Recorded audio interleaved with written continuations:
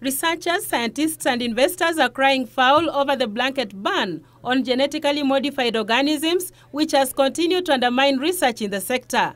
They now want the ban lifted to allow for the use of biotechnology products. So the experiments have gone down, and indeed, projects that are potentially capable going to the next level of environmental release, the developers have basically uh, developed a cold feet. And should the ban be lifted, we'll apply the regulatory framework as we. The water efficient maize for Africa.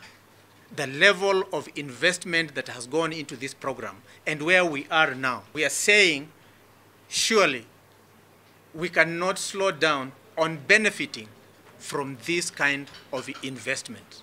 Can we afford to resist new technology due to the perceived risks of GM while we are facing real risks with food shortages and aflatoxin contaminated maize?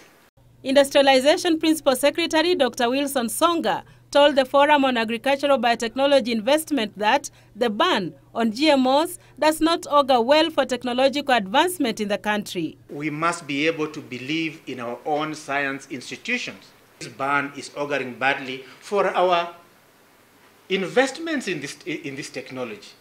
The Busia County Member of Parliament, Florence Mutua, said the ban was inhibiting investment in the cotton industry that once flourished in the western region, warning that unless a conducive environment is allowed in which biotechnology can thrive, Kenya risks losing her scientific edge to the regional counterparts. So we need EU to work with the government to help us lift this ban so that we can also be, be part of the countries that import to EU more of these crops like cotton and soybeans. The head of agricultural development at the EU delegation in Kenya, Dominique Davos, said the EU has not issued a blanket ban on GMOs. If Kenya contributes to those importation with authorized product, uh, indeed you will have access to the EU market. And as the ban persists, those pro and those against GMO continue the grandstanding in Kenya, while other countries are taking advantage of advancement in science and technology to help resolve inherent challenges to productivity. Judith Akolo, Channel One Weekend.